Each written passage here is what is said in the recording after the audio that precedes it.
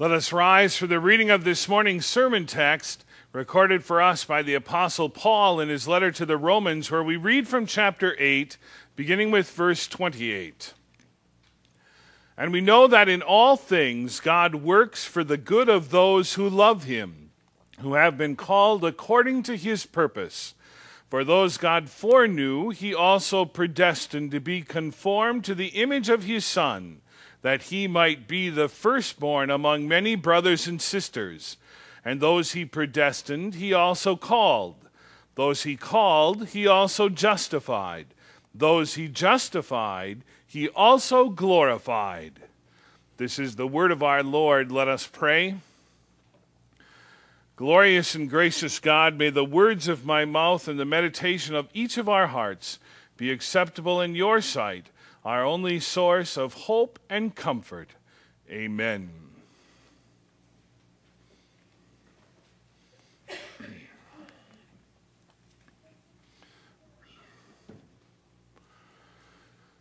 Dear followers of our Lord and Savior Jesus Christ, this past summer was my 35th high school class reunion.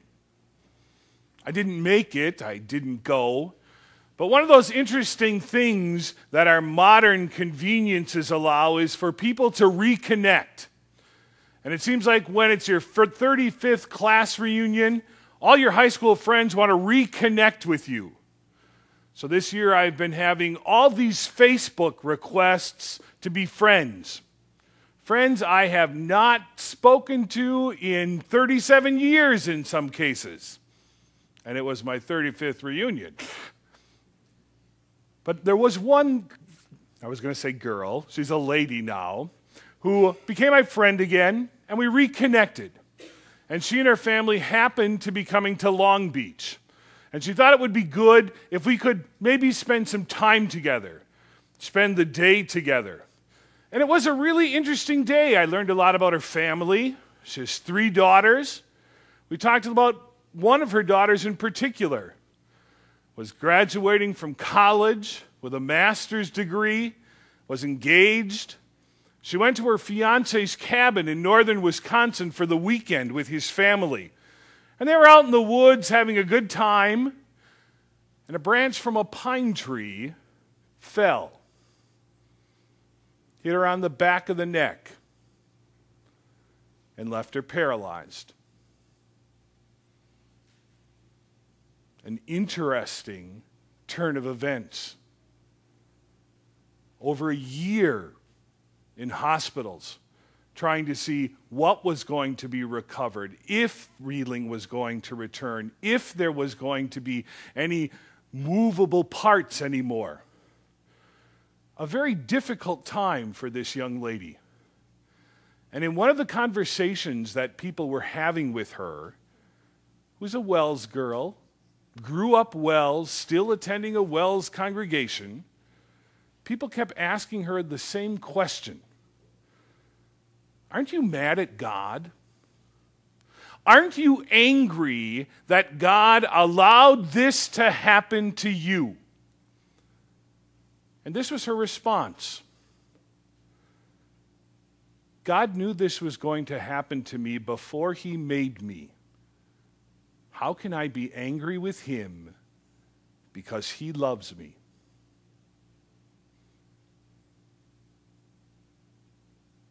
Because he loves me. Because he loves you. Because he loves us as his children. That young woman made a tremendous statement of faith realizing that even in the midst of what we might see as a horrible, tragic accident, it turned her life upside down. It ended her engagement. It ended her ability to walk. It took so many things away from her that you and I take for granted. But the one thing she constantly held on to, the one thing that really mattered, that one thing that was her true treasure in the world, was the fact that God loved her. loved her before he created her, knew her before he created her, and called her to be his daughter. It's exactly what the Apostle Paul is reminding us of in the letter to the Romans today. That amazing truth of our life as the children of God is that God loves us. And that you and I should never doubt that love. He has saved us. He works everything out for our good. And that is what we know by faith. It is what we believe by faith. And it is what we need to constantly remind ourselves of. Because so often in our lives, we can think that God is against us, or God maybe doesn't like us, or God certainly is the one who's picking on us in our life because things aren't going the way that we want or the way that we desire. And sometimes we can't see past the fact of all that God has done for us.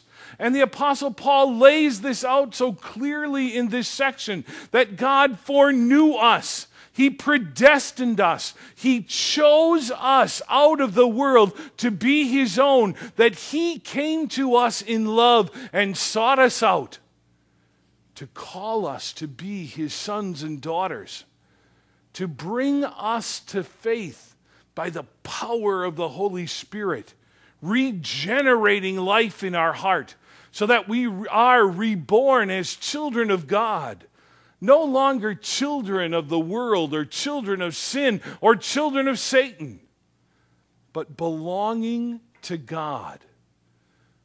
In His love, He took care of our greatest needs by putting into effect a plan of salvation where He would send the Messiah, where He would send a Savior, a Savior from sin that would stop those things that sin brought into this world, the results of sin entering this world, death, damnation, and all of the evil that surrounds us because of that sin.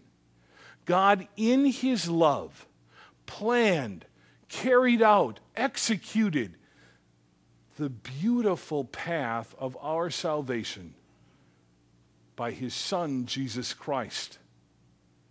God, out of love for us, sent his Son.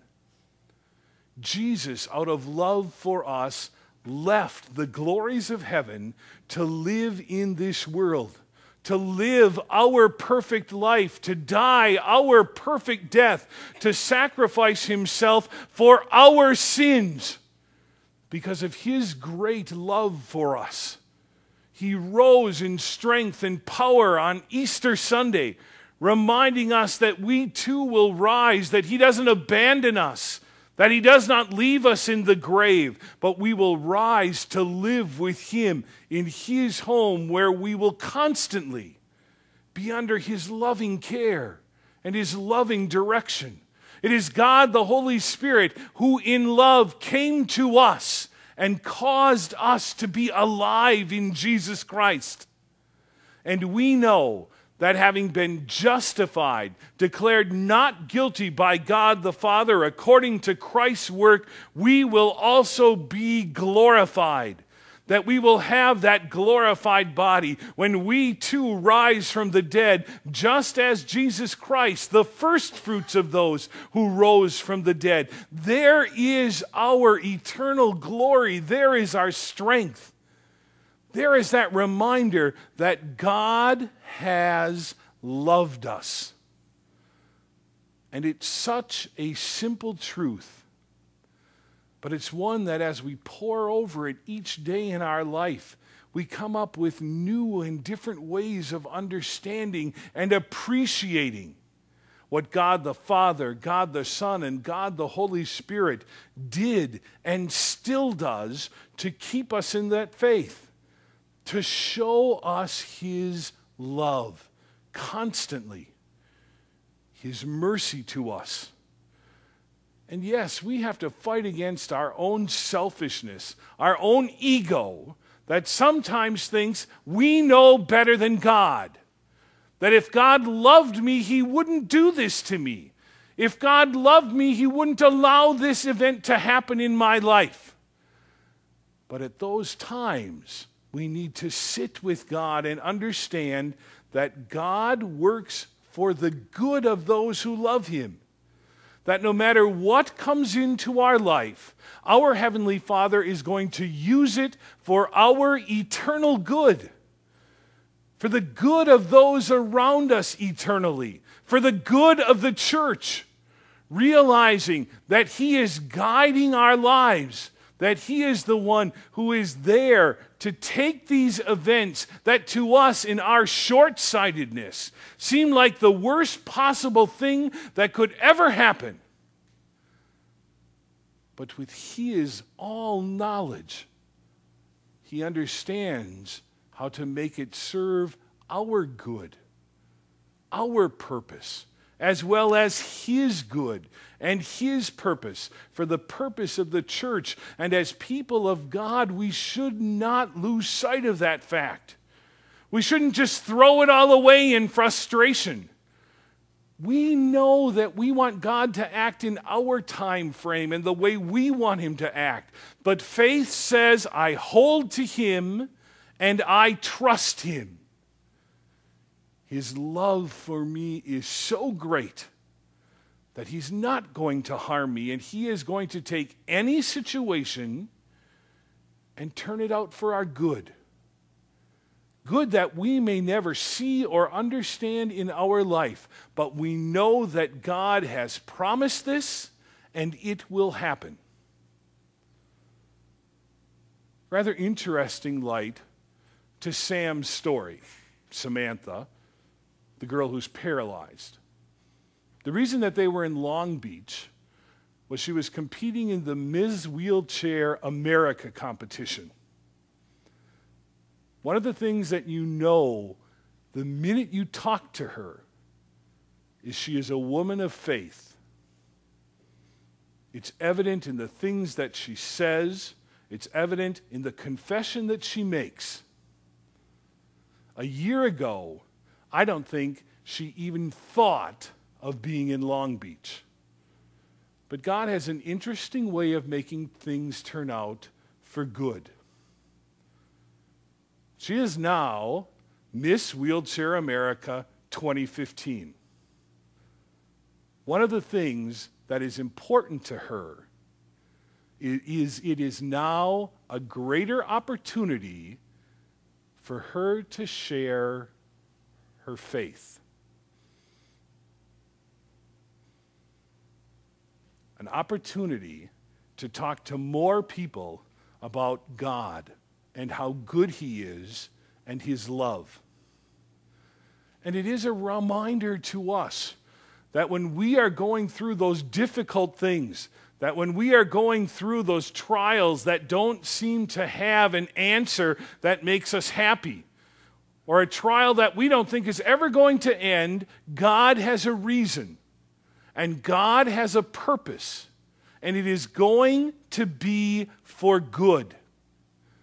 That's what we hold on to, that is what we look to, and that becomes our confession because it makes us different.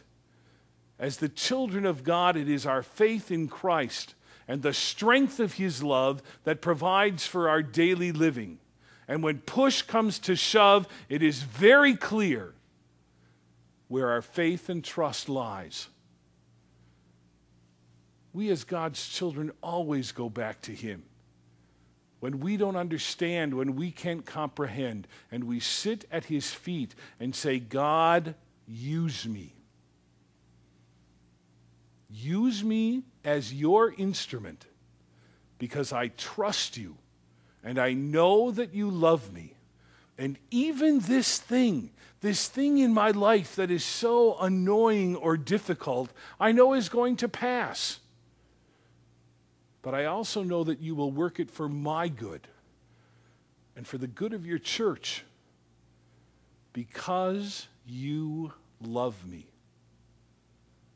And that reminder is one that we should be hearing every day from the pages of Scripture because God's Word speaks to His love for humanity.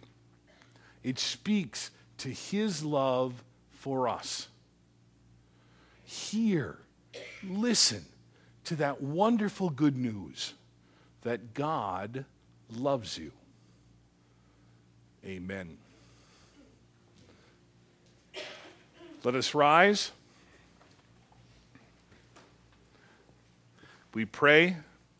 Now, to him who is able to establish you in accordance with my gospel, the message I proclaim about Jesus Christ, in keeping with the revelation of the mystery hidden for long ages past, but now revealed and made known through the prophetic writings by the command of the eternal God, so that all the Gentiles might come to the obedience that comes from faith. To the only wise God be glory forever through Jesus Christ. Amen.